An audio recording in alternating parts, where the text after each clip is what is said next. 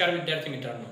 आज आपण इयत्ता आठवीच्या मॅथ्समधील इंडायसेस अँड क्यूबरूट या प्रकरणाचा अभ्यास करणार आहोत. मित्र हो, मागील इयत्तेमध्ये तुम्ही घातांक म्हणजे काय आणि घातांक कसा लिहितात या बाबतीत अभ्यास केला असेल. परंतु आज आपण थोडक्यात ते रिकॉल करूया आणि पुढील सेशन कंटिन्यू करूया. मित्र indices means if A multiplies itself as A into A into A into A into A means A multiplied itself 5 times 1, 2, 3, 4, 5 then it is written as A raised to 5 or we also read it that fifth power of A. Here A is the base and 5 is the index. In this way we can write any indices or any index number. Now friends, concentrate on laws of indices. The first law of indices is that a raised to m into a raised to m is equal to a raised to m plus n. घटकाचा पहिला नियम असा आहे की जर पाया समान असेल आणि घातांकामध्ये गुणाकाराची क्रिया असेल तर घातांकांची बेरीज करावी लागते या ठिकाणी दोन्ही ठिकाणी पाया समान आहे. गुणाकाराची क्रिया आहे. तर यम आणि यन हे जे घातांक आहेत यांची या ठिकाणी बेरीज झालेली आहे. त्याप्रमाणे इथं उदाहरण सोडून दाखवलेले आहे मी लक्षात घ्या. दोनाचा तिसरा घात गुणिले दोनाचा चौथा घात. म्हणजे दोनाचा तीन अधिक चार बरोबर दोनाचा सातवा घात. In this way a raised to m into a raised to n is equal to a raised to m plus n. Let's study Second law of indices. A to m divided by a raised to n is equal to a raised to m minus n. But listen, here m is greater than n. So, take example 2 raised to 7 divided by 2 raised to 4 is equal to 2 raised to 7 minus 4 equal to 2 raised to 3. Here 7 is greater than 4. In this way, the second law of indices we can solve any example by applying this. Now let's study about the third law of indices. It is that in bracket a into b bracket raised to m is equal to a raised to m into b raised to m.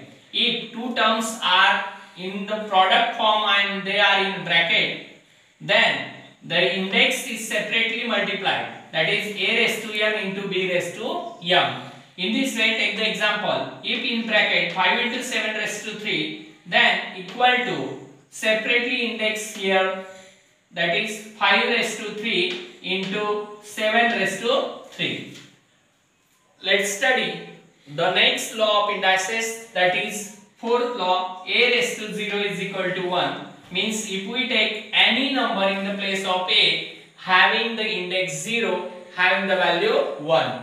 Take example 5 raised to 0 has the value 1. Now we have to study the next laws of indices. a raised to minus m is equal to 1 upon a raised to m. जर index हा negative number असेल तर डिनॉमिनेटरला जाताना तो positive होतो आणि positive असेल तर तो निगेटिव्ह होतो. एक्झाम्पल घेऊया. Two raise to minus three is equal to one upon two raise to three या ठिकाणी हा मायनस थ्रीचा प्लस थ्री झालेला आहे. जर समजा तो इथे प्लस असेल तर डिनॉमिनेटरला जाताना तो मायनस होतो. हा नियम लक्षात ठेवा.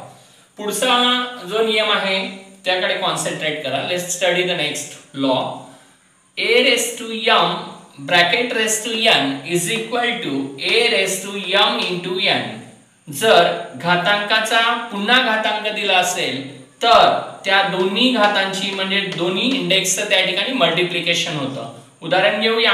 Two raise to three bracket raise to four here two raise to three आणि फोरचं मल्टिप्लिकेशन आहे थ्री इंटू फोर म्हणजे is equal to 2 raised to 12 आता या पद्धतीने तीन आणि चार या दोन्ही इंडेक्सचा गुणाकार होऊन आपल्याला आन्सर मिळतं.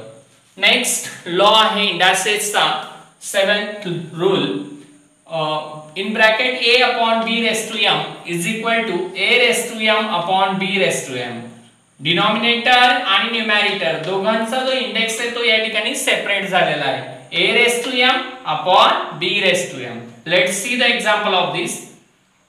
In bracket 2 upon 3 raised to 4 is equal to 2 raised to 4 separately and denominator 3 raised to 4 also.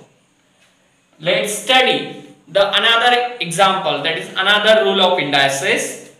8th rule in bracket a upon b raised to minus m is equal to b upon a raised to m.